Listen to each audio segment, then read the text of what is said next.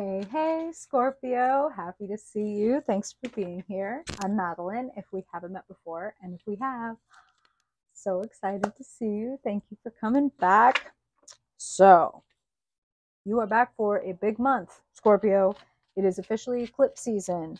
We've got a new moon slash solar eclipse in Libra on October 14th that will occur in your house of endings. It's the house right before, you know, it's about to be Scorpio season. The end of October will be Scorpio season. The sun enters your first house, enters Scorpio. Um, before then, it has to pass through midnight, which is the 12th house, right? It has to pass through the finality before we get to the dawn. So, unsurprising for Scorpio people, it looks like you'll be diving quite deep this month. So, on the 14th, like I said, that eclipse happening in your house of the past, endings, erosion, um, unfinished business, skeletons in the closet. Whenever there is a solar eclipse, there will be a corresponding full moon because a solar eclipse is like a new moon on steroids, right? So there will be a corresponding full moon in Libra in March of next year that will represent a culmination, perhaps a completion when it comes to gaining that clean slate from the past, cleansing what is, you know, hanging around, what is um, sharp memories shoved under soft rugs that you could potentially step on and hurt yourself. It's the time to be pulling up the rugs and sweeping everything out from under. That's what that solar eclipse is ushering in for you. A period of huh, cleaning out your metaphorical closets, okay? Give you a six month time limit. How do you feel about that? And then we will have the lunar eclipse in Taurus on on uh, October 28th. And that's happening in your house of partnerships, one-on-one contacts. So that can be romantic, romantic partners, of course. That can also be business partners, creative partners, um, mentor and mentee relationships, counselor and patient, tarot reader and querent, anything where it's one on one, you and I, we. And full moons represent those culminations and also those spotlights. So you may notice how you are, you know, relating to your partners showing up in stark relief around the 28th. You know, you might feel the urge to ritualize or to do some kind of work around the eclipses. I would advise you to just create space to notice what's coming up around you and inside of you. But more on that next week. I will be putting up a um, some video horoscopes. So I'll get into the astrology of the solar eclipse along with what it's doing for each sign. And then I will do the same with the lunar eclipse toward the end of the month. So check in there for more information. Stay tuned. In the meantime, let's pull some cards and get into the story of your month. And after we see what Spirit has in store, we will close the reading by pulling a couple of cards from the Star Codes Oracle deck, get a little insight from your stars about this earthly tale. So, Spirit, we want to know what's going on with Scorpio? Scorpio sun, moon, rising in October. Happy birthday, happy solar return to my October Scorpios. What do they need to know, Spirit, as their season approaches? What do you want to share with Scorpio in this moment for their highest good, their greatest potential potential for fulfillment?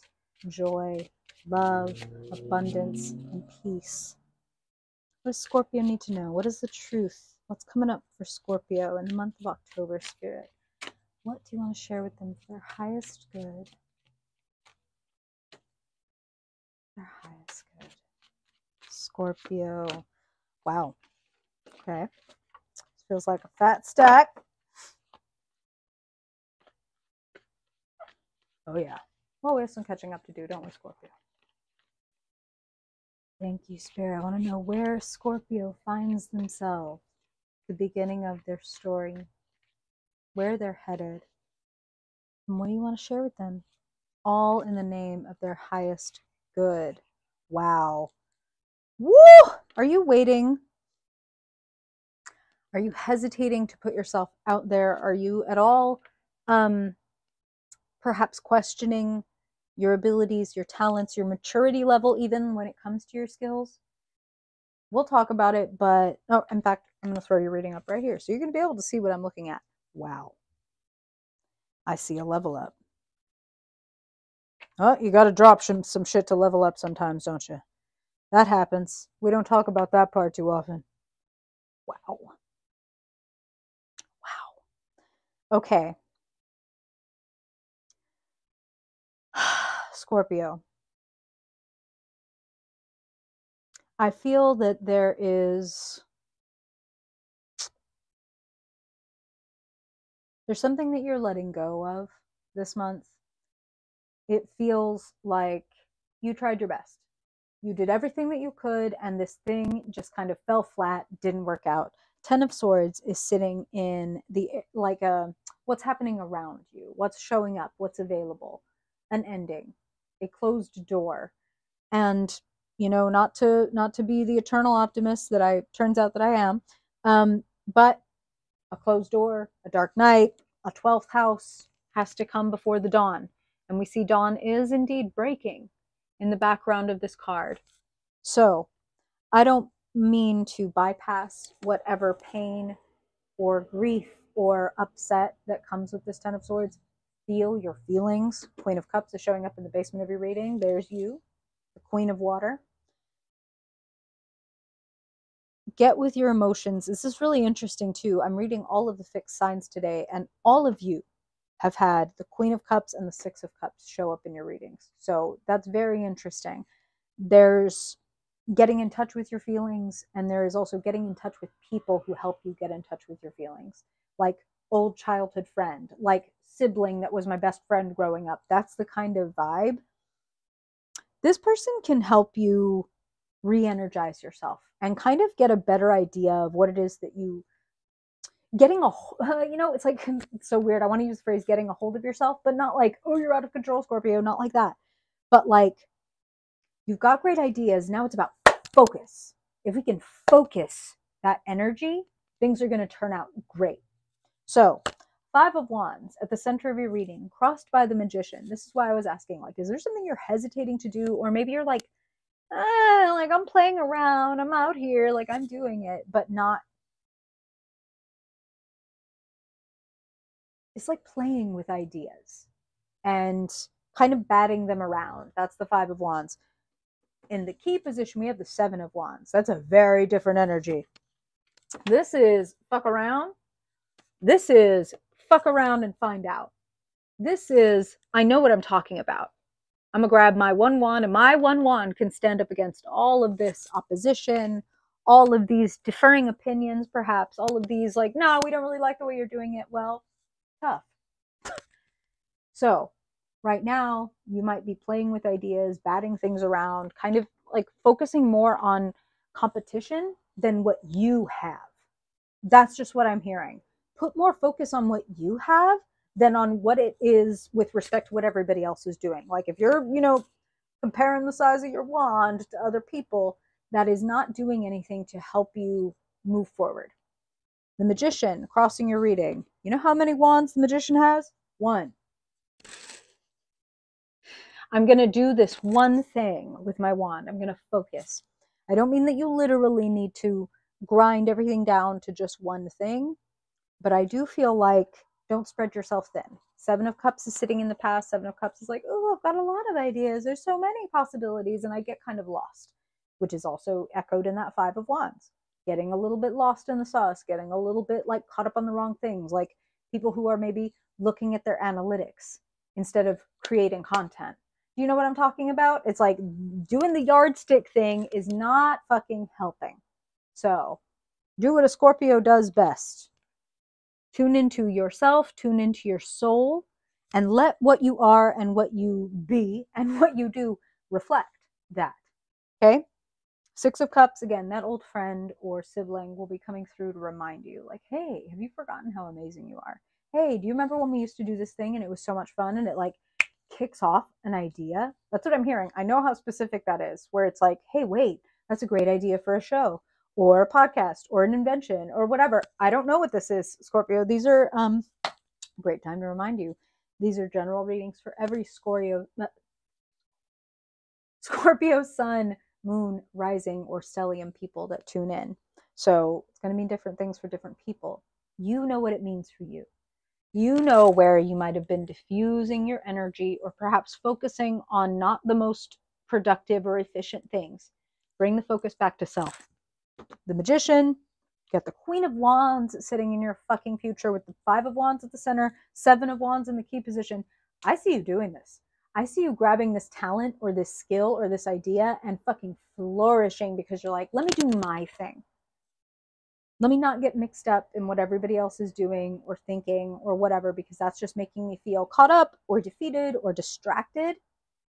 Let me grab my thing. I'm going to do my thing. You show up as Queen of Wands, a person who has mastered like their creativity, a natural leader, charismatic. People notice you, people follow you, people want to come closer to you I see you sparkling.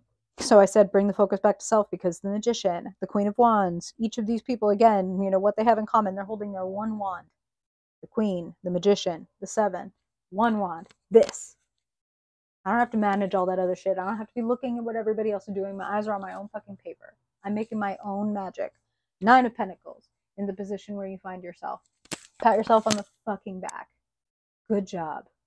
You stand in a strong place independent, fulfilled, flourishing. It's like everybody can see the skills and the returns and the money, pardon me, that you have built up for yourself. If you're missing any of your confidence, I feel like it returns this month. So if you start the month or when you get into this reading, you're feeling a little bit like, I don't know if I know what I'm doing. I don't know if I'm on the right path. I feel like many things, perhaps this reading included, it would be my honor will kick you back into, holy fuck, I know exactly what I'm doing. And, you know, exactly is not the right word. We're not talking Queen of Swords, we're talking Queen of Wands. I know how to follow my passion, my inspiration, my creativity. I know that where my energy goes, you know, good things will come back to me. When I invest in what lights me up, I will see returns. Nine of Pentacles. Uh, this is also, you know, the Nine of Pentacles, if you were to Google it, some of the words that would come up associated with it are like single and happy, independent financially and romantically, or whatever. This doesn't apply to all Scorpios. Not all of you will be single.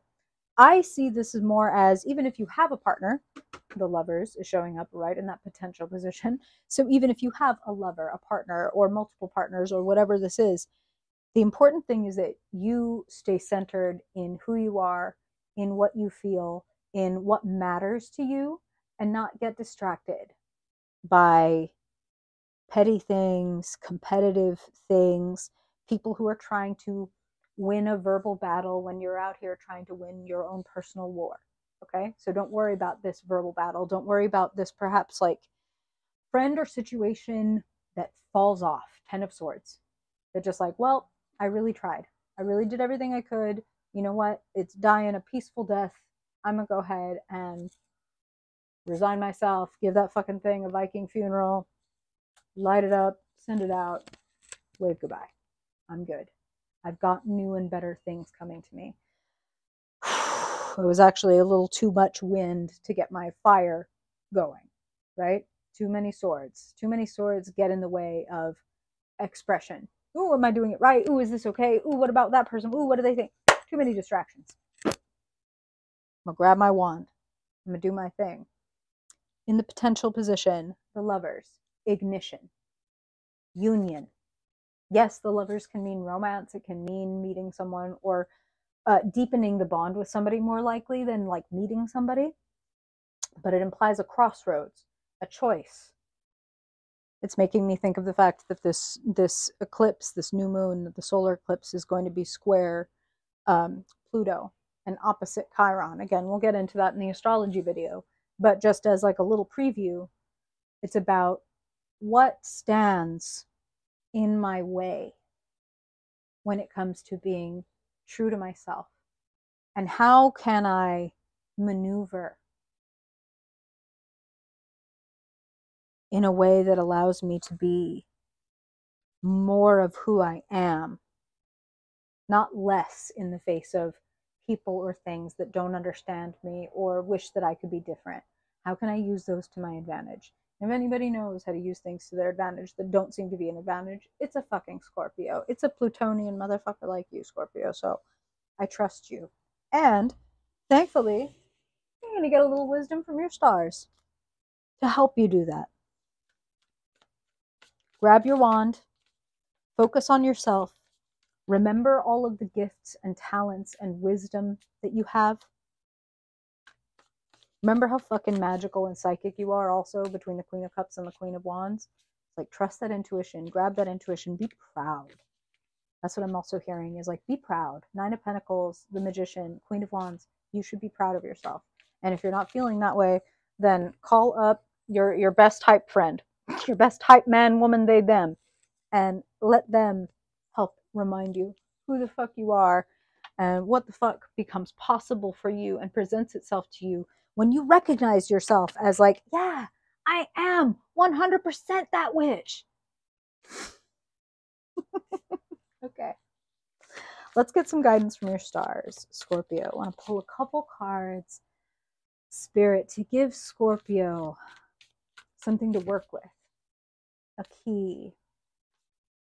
What do we need to know to unlock this? What information or motivation or insight is best going to serve Scorpio in moving through the month of October and ending up feeling like I'm a motherfucking magician and queen of fucking wands.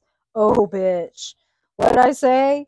There's Moon square Pluto, and Moon is going to oppose, opposition, Chiron, confrontation.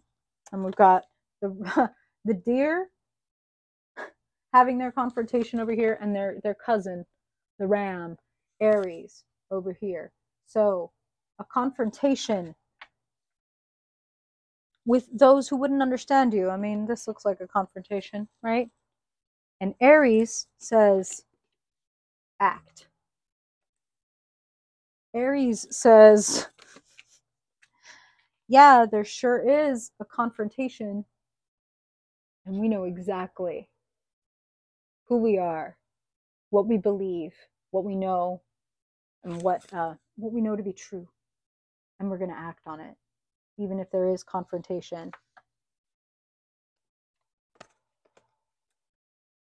We're better than these people. That's just what I'm hearing. Okay, all right. Scorpio, I hope this is helpful. Thank you so much for being here.